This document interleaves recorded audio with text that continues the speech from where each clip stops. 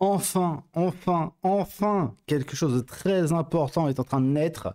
Les Asiatiques de droite, c'est-à-dire euh, un groupe d'Asiatiques qui se revendiquent de droite, qui sont en train de se réunir et de s'organiser. Bon, pour l'instant, ils font un peu de métapolitique, un peu d'agitation sur Twitter et sur d'autres réseaux, mais ils sont en train de prendre de l'ampleur. Je crois que la nana qui est plus ou moins à la tête de ça, les 1000 abonnés il y a encore quelques jours, quelques semaines, et là elle est à près de 10 000 abonnés, donc ça va assez vite. Et je pense que c'est très important, je vous en parle depuis très longtemps, parce que je connais bien la communauté asiatique. Depuis que je suis petit, je la fréquente, surtout vietnamienne, parce que j'en ai en gros dans ma famille par alliance. Je connais aussi des Chinois, j'adore la nourriture asiatique, donc j'ai passé beaucoup de temps dans des restos asiatiques et j'ai sympathisé avec les patrons, euh, surtout chinois, vietnamiens, taille un petit peu. J'ai consommé énormément de culture asiatique quand j'étais petit. Justement, un des oncles de mon cousin, euh, qui était Viet, il avait un vidéoclub clandestin et j'ai grandi à regarder des films très bizarres euh, de kung-fu euh, doublés avec le cul. Après, ça a été les mangas, après, ça a été Voyage au Japon. Je dis pas que je suis un expert, pas du tout, mais je, je, prétends connaître un petit peu la culture asiatique, vraiment pas aussi bien que quelqu'un qui aurait vraiment grandi dedans ou qui aurait des parents asiatiques.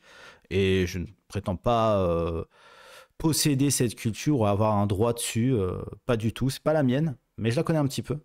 Et je sais que les Asiatiques sont de droite. Voilà. Je sais que les Asiatiques sont de droite. Valeur, travail, mérite, hiérarchie, respect des parents, respect de la tradition. Ça peut être variable, mais quand même, quoi.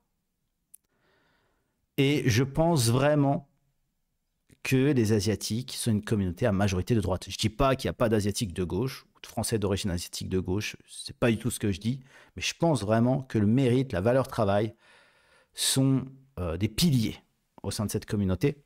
Et personne pourra vous dire le contraire. Après, je suis sûr qu'il y a des exceptions. Il y a des parents asiatiques, j'imagine, qui s'en foutent complètement. Mais c'est pas la norme. Ok? On va regarder ce qui se passe. Bientôt la plus 20 mandat plus que la vie est belle. Je suis en dans la rue, vaccin universel. Alors, euh, c'est ce compte, Lorraine, les Asiatiques à droite, presque 10 000 abonnés, patriote souverainiste, progressiste, anti-woke, fervente hater de l'hypocrisie, gauchiste. Ah, on a ce point en commun, les Asiatiques à droite. Alors, pourquoi j'ai fait cette vidéo? Parce qu'elle a repris la vidéo d'un d'un Instagrammeur, euh, ce mec qui fait du cosplay, qui parle de K-pop sur son compte Instagram et qui a été victime sur une sorte de chat roulette euh, peut-être un live TikTok de racisme de la part de racisé comme il dit. Alors on voit que lui il a plutôt des opinions un peu de gauche. Mais voilà, il fait le constat que moi j'ai souvent fait, c'est-à-dire que je pense qu'avec la droitisation de la société, il y a beaucoup de gens qui ont peur justement de cette affirmation d'une partie de la communauté asiatique qui pourrait enfin saouter et commencer à prendre part dans les débats sociétaux et politiques et affirmer leurs opinions de droite. Et je pense que la gauche, voyant venir ça, il y Diallo, par exemple, qui a beaucoup poussé derrière ses copines pour qu'il y ait des Asiatiques qui commencent à venir chialer pour dire que les méchants blancs les ont traumatisés depuis qu'elles sont toutes petites. Le système néocolonial, euh, mâle blanc patriarcal, en gros, hétérosexuel, etc. C'est lui le très très grand méchant. Et même si parfois il y a un petit peu de racisme d'autres communautés, c'est quand même à cause de ces méchants colons, euh, Gérard Depardieu et Poivre d'Arvor, en gros. Ok, très bien. Elles sont en train de s'organiser autour de ça. Il y a eu un documentaire sur France 2 pour parler du racisme anti-asiatique. Et selon moi, elles passent leur temps, ces nanas, elles sont extrêmement hypocrites parce que quand on connaît la vraie communauté asiatique, en tout cas les prolos qui sont à Aubervilliers dans le 13 à Belleville, tu leur demandes qui vous agresse, qui vous vole, qui vous tabasse, qui vous insulte, qui frappe vos femmes pour leur voler leur collier ou leur sac à main. Eux, ils vous parlent pas de, une fois, ils ont été appelés grinderie ou je sais pas quoi, on leur a fait les yeux bridés, d'accord? Ils vous parlent pas de ça, les gens de ces quartiers-là. Ils vous parlent qu'ils sont tabassés, qu'ils se prennent des coups de cutter. Et c'est très marqué communautairement les gens qui les agressent. C'est extrêmement marqué communautairement et tout le monde le sait. Tout le monde le sait. Et d'ailleurs, quand il y avait eu la manifestation contre l'insécurité de la part des Asiatiques qui avait fini à République il y a quelques années, ça a été complètement endormi cette manifestation parce que déjà ils avaient rien cassé et quand tu ne casses rien en France, personne ne t'écoute. Mais c'est surtout qu'ils avaient des revendications très précises. Et moi, à cette époque, j'étais allé justement un petit peu euh, prendre la température à Belleville et je peux vous dire qu'ils étaient très remontés. Et je me souviens très bien à la Hawaïenne, dans ce restaurant que j'adore, euh, et le patron est un pote. J'étais allé dans ce restaurant, j'avais commandé en portée, donc j'étais debout. Et il y avait, c'est un resto qui est, il y a beaucoup d'asiatiques, de primo arrivants, des jeunes chinois, des jeunes viettes, surtout des jeunes chinois qui viennent manger dans ce resto parce que c'est bon. Et après, ils retournent bosser. Et du coup, euh, ce jour-là, il y avait une femme qui était à l'hôpital entre la vie et la mort parce qu'elle s'était fait piquer son sac et en tombant, en fait, le mec avait été tellement violent, en tombant, il s'était pris un poteau et elle avait le crâne ouvert, elle était en train de mourir. Le mec lui avait piqué son collier et son sac à main. Et euh, la communauté asiatique était très remontée ce jour-là. Et moi, j'avais commencé à parler au patron. Il savait que je suis de droite. Donc, euh, moi, je le cache pas. Et euh, même il y a encore, il y, a des années, j'ai toujours affirmé mes, mes, mes, opinions. Et il a commencé à me dire, ouais, nous, on en a marre et tout, machin. Il y a encore une chinoise qui s'est fait agresser. Elle est en train de mourir à l'hôpital et tout. Et les jeunes qui étaient dans le restaurant, moi, j'ai commencé à dire, mais franchement, qu'est-ce que vous attendez pour mettre en place un groupe de sécurité privée qui serait payé par tous les commerçants de Belleville pour tourner et réagir dès qu'il se passe un truc. Parce qu'il n'y a que ça qui fera changer les choses. Et ils étaient tous, il y avait même des, jeunes qui s'étaient élevés et c'était tous, euh, ouais, on va le faire, il faut le faire et tout machin. Tous ceux qui parlaient français, en fait, ils étaient super chauds, quoi. D'accord? Et bien sûr, tout le monde savait, parce qu'en fait, pendant qu'on parlait en face de la Wayenne, il y avait un bar qui est maintenant devenu un truc de bobo, mais à l'époque, c'était un truc vraiment euh, miteux, vous savez, avec des mecs édentés qui boivent du café toute la journée. Euh, voilà, et c'était un peu le repère de tous les voleurs, de tous les brigands, les dealers, les, cassos, les camés du coin. Et c'était les mecs qui agressaient, qui venaient boire leur café ici, et ils avaient agressé leur mère, leur cousine, leur, leur, leur daron, la veille, l'avant-veille, et les mecs, ils bouffaient, ils les regardaient, quoi cette tentative de la gauche de créer un racisme, des méchants blancs contre les asiatiques et voilà, je sais pas quoi. On a vu la dernière fois avec la nana qui parle de ces micro-agressions. Micro-agressions, micro-problèmes. Hein. Franchement, si t'as connu que des micro-agressions dans ta vie, estime-toi heureuse. Moi, j'ai connu des vraies agressions. Je me suis fait tabasser par trois mecs, j'ai des séquelles physiques. Voilà.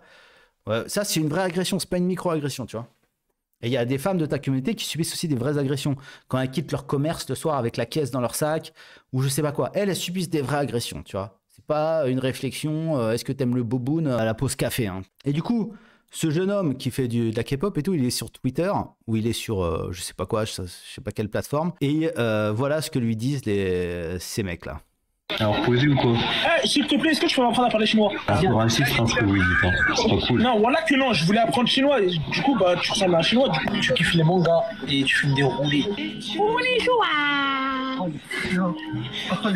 Mais c'est catastrophique. C'est-à-dire, les mecs, il faut pas la. Enfin, voilà, les racistes comme ça. Oui, c'est bien du racisme banalisé envers les Asiatiques que vous venez de voir. Le racisme sous toutes ses formes est intolérable. Mais ce qui me révolte quand même, c'est que même des communautés racisées comme les Noirs et les Arabes se permettent elles-mêmes ouvertement de faire preuve de racisme. Alors c'est là qu'on voit que le mec, euh, c'est un gauchiste en fait. Lui, c'est un gauchiste parce qu'il dit même les pauvres victimes de racisme, c'est révoltant, même eux, ces pauvres victimes, ils arrivent à être racistes. Je crois qu'il n'a pas tout compris au film. Mais après, c'est déjà bien qu'il euh, qu'il fasse cette vidéo. Mais il n'a pas tout compris au film, en fait. Il n'a pas tout compris, je crois.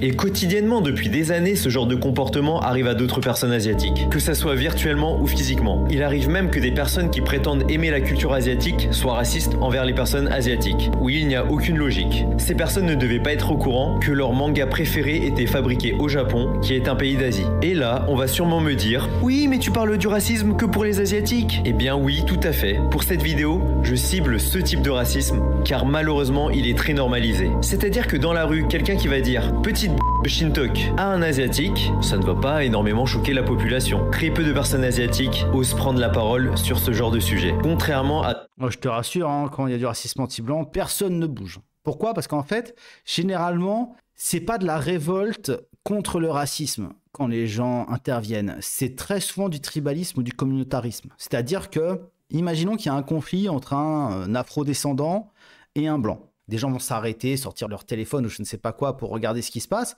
Suffit que l'afro-descendant dise Ouais, mais il m'a dit un truc raciste pour que les gens prennent parti pour lui. Les gens de sa communauté prennent parti pour lui. Ça va très très vite. Alors qu'un blanc qui sera fait traiter de sale blanc, etc., il va dire à d'autres blancs Ouais, mais il m'a traité de sale blanc, de cachet d'aspirine ou je ne sais pas quoi. Tout le monde s'en fout. C'est parce que ça n'existe pas. Et surtout, il n'y a pas de euh, réaction organique communautaire au sein de la communauté blanche. Et je pense que chez les Asiatiques, c'est un peu pareil aussi, malheureusement. Peut-être un peu moins, parce que ça reste quand même une minorité. Je pense pas qu'il y ait un tribalisme très puissant chez les Asiatiques. C'est peut-être pour ça aussi que les gens ne réagissent pas. D'autres minorités. La communauté asiatique est en majorité très respectueuse et n'a pas pour habitude sociale d'entrer dans les conflits. C'est la raison pour laquelle des personnes mal intentionnées en profitent pour leur manquer de respect car ils les pensent soumis. Bien sûr, attention, il ne faut pas en faire une généralité. Pour tout le monde, le mieux à faire, c'est de s'informer et de ne pas dépenser son énergie inutilement dans la haine. Si vous avez des témoignages à ce sujet ou des Ouais, bon, c'est un gauchiste un peu, voilà, c'est un, petit peu un gauchiste. Il, il arrondit les angles et il essaye de nous, euh, voilà, il essaye de montrer qu'il est de bonne volonté, qu'il est dans le camp du bien qu'il veut pas faire d'amalgame et que voilà, euh, faut pas tirer de conclusions hâtives et que ça n'a rien à voir avec rien. D'accord? Et que c'est triste que des pauvres victimes du racisme systémique en France de la part des méchants blancs, eux aussi, enfin elles aussi, ces victimes, euh, participent euh, de racisme alors qu'elles savent très bien le mal, les souffrances que ça peut infliger. Donc c'est un petit peu catastrophique comme vidéo, je l'avais pas vu en entier, mais, mais voilà. Euh, quand même, c'est intéressant pour au moins pour le début, hein, parce qu'au début on voit que euh, ça y va quand même. hein. Et ça me fait beaucoup penser d'ailleurs à toutes les micro-agressions dont nous parlait euh, la nana qui est copine avec Rokhaya Diallo, dont je parlais la dernière fois.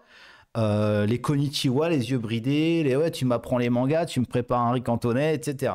Alors posé ou quoi s'il te plaît, est-ce que tu peux m'apprendre à parler chinois? Un peu raciste, je pense que oui. C'est pas cool. Non, voilà que non, je voulais apprendre chinois. et Du coup, bah, tu ressembles à un chinois, du coup, tu kiffes les mangas et tu fumes des roulés. Apprends-moi à parler chinois, konnichiwa manga. C'est là que tu vois que l'inculture, c'est très souvent quand même la base du racisme. C'est, c'est... Alors, je pense qu'il y a deux choses qui sont qualifiées de racisme.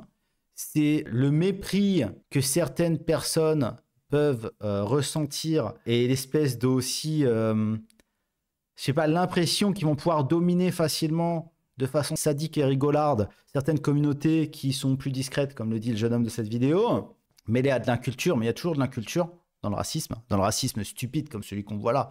Après, des formes de rejet euh, intercommunautaire, ça existera toujours. Et il y a une deuxième forme de racisme qui est plus répandue, je crois, en France, c'est euh, quand tu arrives au bout de ta patience, en fait. L'exaspération. C'est-à-dire qu'on on a tendance en France à appeler racisme souvent l'exaspération de certaines communautés. Un rejet. Euh, T'en as marre, en fait. Voilà. Et ça, on appelle ça du racisme. Je pense que c'est pas le bon terme. Voilà, je pense que c'est pas le bon terme. Je vous embrasse, mettez un pouce, un like, abonnez-vous et surtout rejoignez ce mouvement si vous êtes d'origine asiatique ou même sympathisant. Si vous êtes simplement sympathisant, n'hésitez pas à aller vous abonner au compte de Lorraine sur Twitter et son arrobase c'est Lorraine L-O-R-E-I-N-E-O 0. Allez-y, à plus tard tout le monde, ciao